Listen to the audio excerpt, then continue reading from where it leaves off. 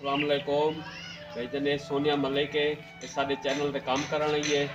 असलकुम मेरा नाम सोनिया मलिक मैं इन्होंने काम करना ही है। और लाइक करो सब्सक्राइब करो। सारे चैनल लाइक करो। और सब्सक्राइब करो। और कमेंट ज़रूर करो।